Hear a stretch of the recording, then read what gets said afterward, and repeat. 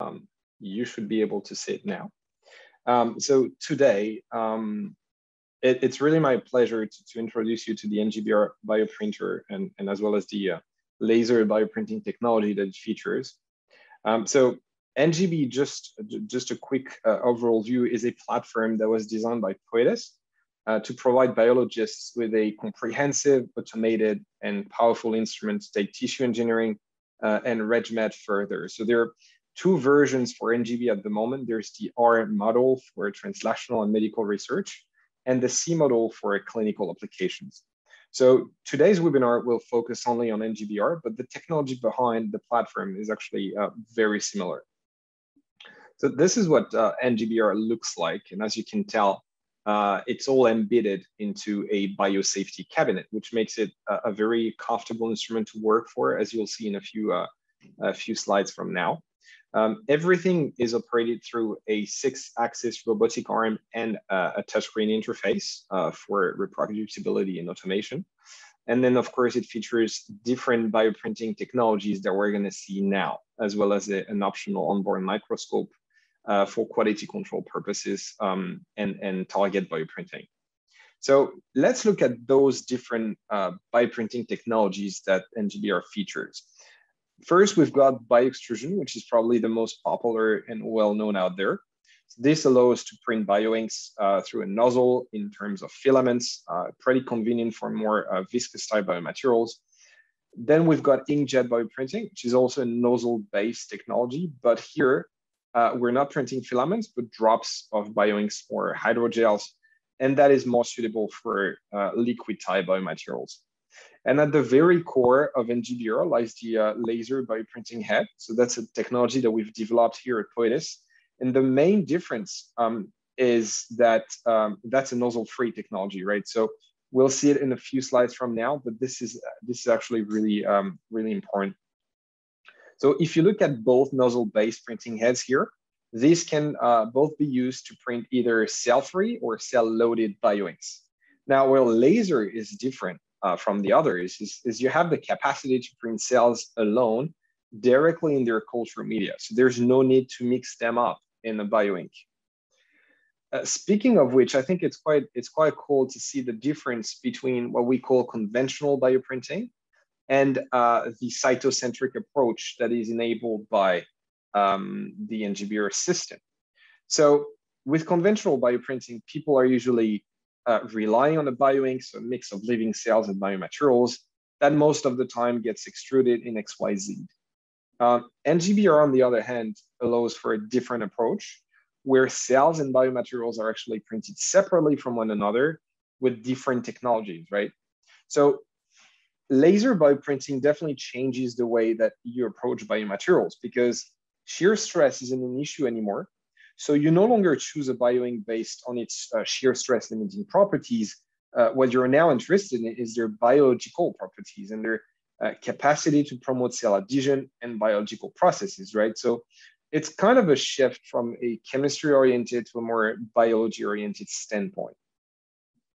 Now, unlike bioextrusion, cells are not extruded out of a nozzle, but they get transferred, as you'll see uh, in, in the video now uh, they get transferred and deposited from a ribbon to a receiver. So we are basically using energy from a laser beam source to create kind of a cavitation-like bubble, which induces a jet of a, a tiny micro droplet, which uh, of course contains cells. So typically from 8 to 15 microliters of this cell-loaded culture media solution is deposited onto a golden metallized substrate. And, and this uh, prevents um, cell from being impacted by laser pulses. So to sum up, laser bioprinting is a unique nozzle-free technology that has this capacity to precisely distribute cell droplet spatially uh, and according to specific and tailored micro patterns uh, designed to help guide self-organization of cells, uh, which is the basis of 4D bioprinting. And that's a topic that Mikael uh, will introduce and spend um, quite a lot of time on uh, in, in about five minutes from now. Uh, last but not least, I think this is pretty important to mention, uh, that laser technology is also compatible with a great deal of cells. So personally here at Poietis, we've worked with uh, primary human cells as well as embryonic pluripotent stem cells And we even have a colleague working on plant cells uh, at the moment, quite successfully.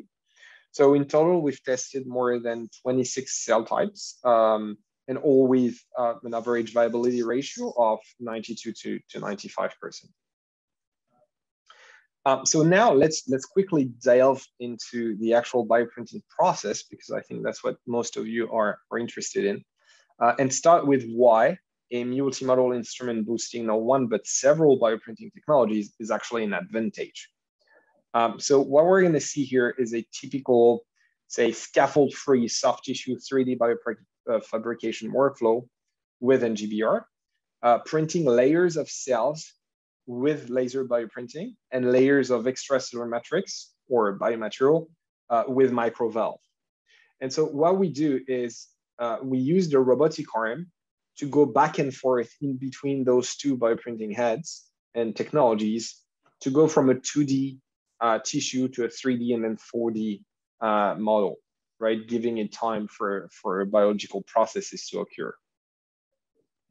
Uh, and here's the same workflow, but tracked with the onboard microscope that I mentioned uh, in the first slide. And so as you can tell here, laser bioprinting has this uh, genuine advantage to allow for very precise positioning of cells and, and for a specific pattern to be maintained across many layers. So here they only have like two layers of cells, but typically you can use, you know, 10, 12, uh, 14, and so on. Um, so before I, I, I give it uh, on to, to Mikael for a, a more application review uh, session, uh, just want to quickly mention about the, the main key advantages to laser bioprinting.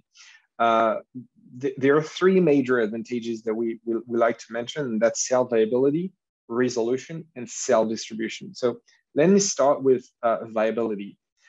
As, as we've seen, uh, since cells do not suffer from any pressure or shear stress, then the risk of cells getting injured or damaged in the process is, is very minimal. So we've run a lot of live dead viability tests on, on different cell types, and the average viability ratio goes around 95%, which is, which is really, really good. Uh, the second advantage here is uh, everything to do with resolution, and more specifically, the control over resolution that the user have. So as Mikael will present in a couple of minutes, laser bioprinting lets you tweak a couple of parameters, which help you adjust the volume of droplet and the number of cells per droplet. So this means you can work with both uh, cellular spots or cell clusters and spheroids, or even get very close to single cell bioprinting. And last but not least, you also have the possibility to spatially distribute cells and organize them within the bioprinted construct itself. So this means that you can easily come up with uh, very precise and specific cell patterns and choose to deposit cells in certain way based on what you're uh, well trying to achieve, right? So this is a huge advantage compared to bioextrusion where you can only adjust cell concentration, but not that spatial organization of cells. Um, so as you can see in this time lapse, uh, time lapse sorry, uh, video, um, the impact of a specific cell pattern uh, onto morphogenesis is, is, is actual um, and, and with cell migration and proliferation occurring post-printing. This is what we like to call 4D bioprinting here at Poietis. Uh, and my colleague Mikael will now delve more into this topic, uh, giving several examples of applications uh, using the NGBR platform. So Mikael, on to you. Uh, thanks, Antoine. Uh, so hi all, uh, my name is Mikael. Uh, I'm business application manager here uh, at Poietis. So part of my job is to uh, understand customers' needs and then lead related applicative projects. Other part is to manage R&D projects with industrials and also with academics through European projects. Today, I wanted to show you some direct applications related to our unique platform technology. So uh, laser bioprinting is another free technology known to be resolutive, uh, allowing excellent cell viability while preserving cell integrity. But it's also very fast. Uh, this printing speed is possible because of uh, the scanning mirror, Uh, the small scanner located on the optical path of the laser allows to move the beam quickly and precisely to various positions on the ribbon. And these positions are the ones we have previously defined as pattern when we create a CAD file. So for each of these positions, a drop is ejected, forming the desired pattern. And on this video, uh, a pattern of about 400 droplets has been printed, and you can see uh, how fast it goes. So therefore, it's really easy to generate cell patterns in a high throughput and in a precise and reproducible way. Uh, you can print, sorry, uh, you can print different cell types as illustrated here.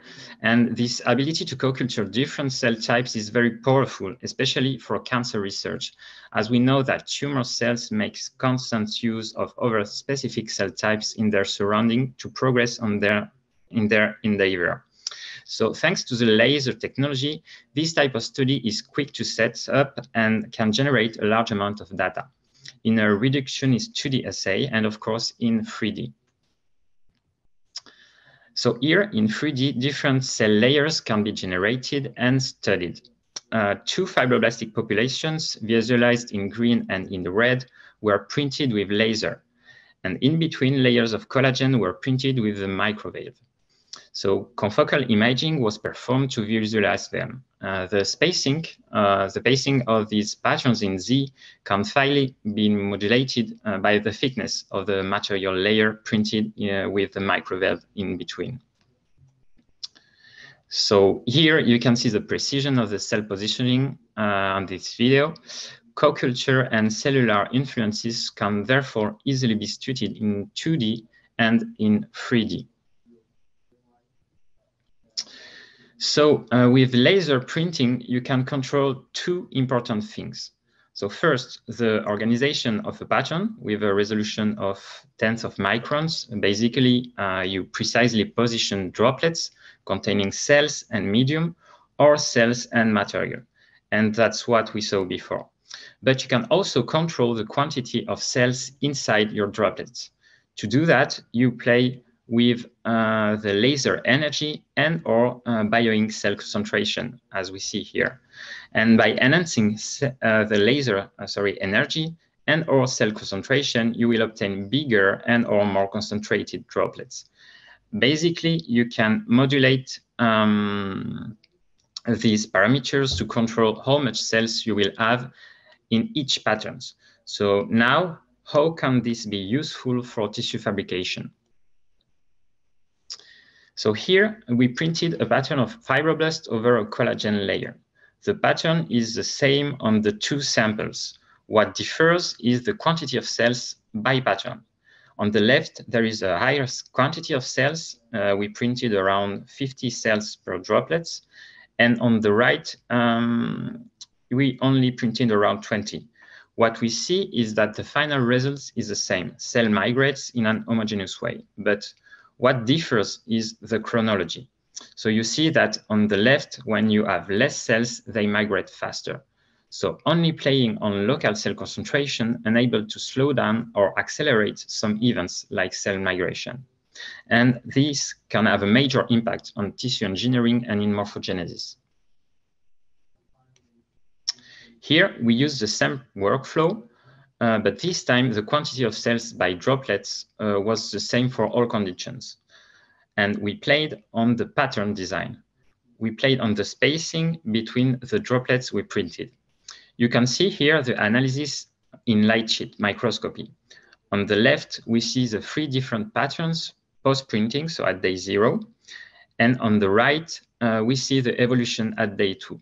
Again, the result is that cell migration can be modulated and here playing on the position of the patterns. So both precise cell positioning and local control of cell concentration enable to modulate in a controlled way the chronology of some biological events.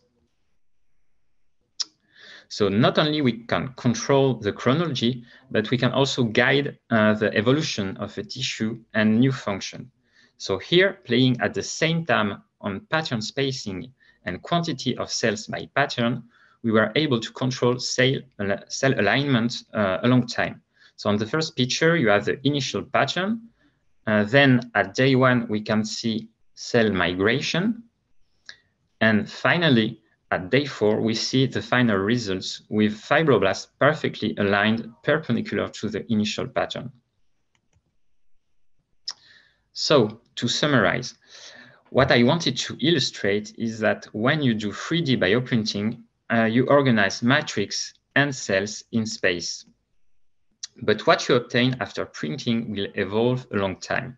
Cells proliferate, they migrate, they interact with the surrounding environment, and from this initial pattern, specific biological function will emerge. Laser printing for resolution and precise local positioning enable to control key parameters for tissue fabrication and for morphogenesis. That's why we call our bioprinter a 4D bioprinting platform. And this notion is really important to address tissue morphogenesis and complex tissue fabrication. Using our 4D bioprinting platform and a similar methodology, we developed a few years ago the first commercial bioprinted skin models, Poieskin. So here you have the full workflow. The first step uh, is the design uh, of the tissue model using our in-house CAD. Then uh, the fabrication, so starting with the dermis, the major components of the dermis are fibroblast and collagen, and we printed them layer by layer. So collagen is printed homogeneously uh, with a microvalve, and fibroblasts uh, are printed with a specific pattern to control their migration during dermis maturation, and they are printed with the laser technology. Then there is a maturation step, and uh, at day five, uh, keratinocytes are printed with uh, a different pattern, and then again, a maturation. So in the design of a full thickness skin model, uh, the keratinocyte deposition step is very important. Uh, these cells must form an homogeneous layer before the passage in the air liquid interface, uh, marking the beginning of the differentiation and allowing to uh, a good stratification of the epidermis. And here we see the difference between a model where the keratinocytes were manually deposited with a pipette. Um, so on the right, so we can see that they present empty zones, and we can also see 3D areas where keratinocytes are already differentiated. Then you have on the left the condition where keratinocytes were printed in an homogeneous layer with the laser, and cells are confluent and homogeneously organized in 2D. And again, this phase can be modulated with the laser uh, chronologically um, by controlling uh, the keratinocyte density. So in order to accelerate or slow down the maturation of the epidermis and the wall tissue. And this makes various uh, keratinocyte functions emerge a long time or not. And here is the results uh, after maturation uh, of our skin model. So this nice histological section uh, on the left with homogeneous cells and well-oriented basal layers, presence of granular cells and of stratum corneum. And we can see also uh, immunostaining of the sample assessing expression of epidermal differentiation markers like cytokeratin 5 and 10 and the proper location of both of them. So not only cell patterning is interesting, but also material patterning. Our multimodal bioprinter offers the possibility to pattern various materials in 3D and thus create microenvironments for the development of more complex in vitro models. So here I took the example of, I, of an experiment that I did myself. Uh, I wanted to test the patterning of alginate and I used two microvalve heads uh, one loaded with CaCl2 and the other with alginate. So here uh, up, you can see the, the CAD design. And by co-printing locally with these two modules, I generated the alginate patterns uh, visible on the picture below. And on the right, you can see the geometry of one of these patterns uh, observed from the side. Then I wanted to see if the generation of such a microenvironment could have an influence on the development of the skin model. So commercialized, commercialized skin models all have a flat dermal epidermal junction interface. And this is not the case in vivo, where uh, there are microvilli at these interfaces. And this structural organization is important for various functions and cellular exchanges. I wanted to see if by patterning alginate over a cellularized collagen matrix before adding keratinocytes could influence the organization of the epidermis and this junction. So here you can see the results. Um, so what we see is that the epidermis is not perfectly organized, um, but so adjustments are to be found. But I wanted just to illustrate for this experiment that it is possible to create microenvironments in an automated way with our system and that bioprinting is a really interesting tool to develop, but also to complexify tissue models. Laser bioprinting also allows creation and maintenance of spheroids. So spheroids can be obtained in a pseudo 2D matrix, as shown on this image, or in a 3D matrix. The process is really fast. Uh, we locally repeat several prints uh, of few seconds to concentrate cells, so again with the laser, and by playing on this local cell concentration uh, or also on the, mat the, matrix environments, we can induce the formation of a large quantity of homogeneous size spheroids. So you can also do co-culture. So as is illustrated on this picture, um, you can visualize in uh, the bioprinter your spheroids at various stages of maturation along time with the integrated microscope. You can then uh, pinpoint and select manually areas of interest, uh, as you see here with the circle um, yellow. And you do that through the feature uh, viewprint, which is integrated in, in our platform. And then we can print a new cell type at desired location. So this can be interesting in oncology area research where you could create spheroid mimicking primary tumor in throughput. And then a long time you could print new cell types like fibroblast and study epithelial to mesenchymal transition of tumor cells at the edge of tumor mass. Finally, I wanted to show you another application related to the viewprint feature, uh, the possibility of placing cells in custom microgrids. So in our case, for one of our projects, we needed to distribute mesenchymal cells into a selection of wells across a bioprinted microgrid array. So the size of these microwells was pretty small, uh, about uh, 200 microns. And viewprint and laser precision proved very helpful, helpful in, in this experiment. So the custom microgrids were uh, imaged with our integrated microscope inside the bioprinter Nine regions of interest were easily manually spotted and cells got printed with the laser as requested. So here on the right is the final result uh, with a closer view at some of these wells. And we can see that cells are precisely positioned uh, into each spotted well, illustrating the high control over resolution that laser bioprinting offers. And this is the end of my presentation. Thanks all for attending. Uh, Antoine, back to you. Yes, thank you so much, uh, Mikael. Um, I hope uh, it was, uh, I mean, that's a lot of information, right? So I hope uh, those attending um, found the, uh, the application review um, interesting and clear enough. If you have any questions for Mikael, uh, please feel free to use the Q&R uh, box to write down all your questions. And we're going to have at least 15 minutes at the end of this presentation to address and answer any questions uh, uh, or inquiries that you may have. So really feel free to use the uh, Q&R box. Um, this is what I like the most with webinars is for people to have the possibility to, to ask us directly uh, any question they have. Uh, before we wrap this up, uh, there's a third and last part um, that I'd like to share with you guys, which is uh, just showing you how it feels like and how you, you know, um, how, how the NGBR works basically, right? So having a look at the workflow uh, and we're gonna have a few videos for you as well. Um, just before that, there, there are basically six main steps towards a bioprinted construct. Uh, so it all starts with designing the actual architecture to be printed. So NGBR comes, of course, with a computer-assisted design software, so CAD software, that can be operated from any computer.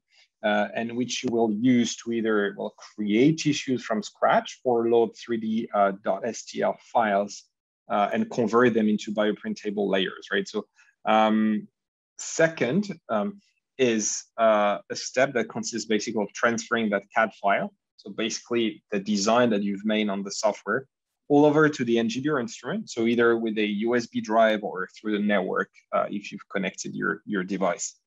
Now, once the file is loaded on the platform, then you have the possibility to sequence your printing jobs. Uh, so set the order in which uh, jobs must be executed, or you know, adding new ones like capturing an image with the onboard microscope after uh, each, la each layer is printed and so forth. So you could choose to have a fully automated non-stop process or to have the instrument stop at each step uh, so you can check it out. So it's totally up to, to personal uh, preferences. The last step before printing um, is to simply load the bioinks. And you're gonna see in a minute with videos how this works. Um, th this, I, I actually, uh, uh, I like the video format because it's just, uh, it's just much, much, much easier for people to, to see how it works. Um, and then to initiate biofabrication, all you have to do is just click on Start Bioprinting in the NGBR interface, uh, and the instrument will crack on printing the, the sequence that you've loaded. And last but not least, well, you may visualize the bioprinted construct either through the cabinet window uh, or with the uh, onboard microscope if you have opted to have it. Um, so this uh, shows you, this first video shows you how NGBR can actually be used, of course, as a printer, but also as a biosafety cabinet. Um, so then, you know, killing a couple of birds with one stone, if I may say, um, which which again makes it pretty convenient because well you have all your cell related work uh, in in one same place. Um, here um, we show you how to load either so ready to use bioinks these work as well or just specific biomaterials directly into the nozzle based bioprinting head. So here uh, I'm, I'm, referring to uh, microvalve and, and bioextrusion. Uh, so NGBR is basically compatible with three and five ml cartridges, which can easily get connected to the instrument as you can see now, uh, and it into the print heads. It's as simple as that. And then once you're uh, once you're ready, once the print head is loaded, then you're ready to bioprint. And here's how it's it's done with nozzle-based bioprinting. So both the extrusion and inkjet heads can come either standard or thermoregulated if needed. And thermoregulation goes from 4 to 60 Celsius degrees, uh, which can be useful depending on what biomaterials you're uh, relying on, whether, whether it's collagen, alginate, uh, and so on. Uh, so the extrusion head prints uh, filaments of up to 100 micrometer, and the inkjet head does drops of up to 100 NL. Now, as an optional um, um, device, you have the possibility to have a single or dual wavelength UV lamp added to the instrument uh, and therefore well to the workflow for uh, cross-linking and polymerization purposes. So 365 and or uh, 405 nanometers in terms of wavelengths. And typically, well, this is a printing job that may be very uh, easily included into the bioprinting sequence uh, through the, uh, the interface right beforehand. Now let's move on to what people are usually the most uh, curious about, and this is how to um, you know load the bioink to the laser bioprinting system. So as explained earlier, cells are actually printed directly in their culture media, as you can see um, in, in the video. So simply deposit a drop of that cell media onto the ribbon, so that gold metallized substrate we've, we've talked about during the last session, and just gently spread it across as the, the lady is performing here. And then simply place the holder on top of the laser bioprinting head, then you're ready to go. So loading the bioink onto the laser uh, printing system is 15 to 20 seconds long. It takes a bit of practice, but usually people are mastering this pretty well after uh, a couple of uh, experiments. And then once loaded, of course, well, it's time to initiate the printing sequence. So as you can see in the video, we're printing upside down. So the robotic arm will automatically flip the receiver uh, when approaching the laser head as we print uh, against gravity here. So as you see now, transferring cells is an extremely fast process. I forgot to mention that you can print up to 10,000 droplets per every second. So typically printing an entire layer or uh, an entire grid of cells, uh, you know, takes about microseconds um, at the most. Um, so here the robotic arm stops working, but if you had a whole sequence loaded, then it would basically carry on with uh, further jobs, of course, right? So let's just uh, review. This is this is uh, our last slide before questions. But just a quick review of the major advantages to the instrument that we've seen. And the, of course, in my opinion, uh, the fact that you can spatially distribute cells very you know, precisely, specifically, is, is definitely a, a key advantage here because that's what takes you to 4D bioprinting uh, to more functional and more uh, complex uh, tissues. Uh, and of course, well, control over tissue morphogenesis, right? So those two are definitely connected. Uh, then since the, the instrument is operated on robotics, well, it makes the um, workflow definitely more reproducible uh, and automated, which is, which is good because we're looking at operator independent processes um, towards more you know, medical and clinical applications, of course. Cell viability uh, is definitely something to consider if you're looking to, to produce uh, tissues that are functional. Uh, then multimodality is is good to the fact that you have three different bioprinting technologies. That's what you know is going to help you come up with more complex tissues that better replicate or mimic uh, organic ones. And then, of course, the fact that you can you know adjust resolution based and according to the the application that you have. Uh, well, is definitely of interest, uh, maybe for oncology purposes or uh, you know, basic bioengineering or um, regenerative medicine. Um, so this is the end of, of our slides. Uh, Tim, I'm just gonna um, um, leave it back to you and maybe we can have uh, a few questions answered.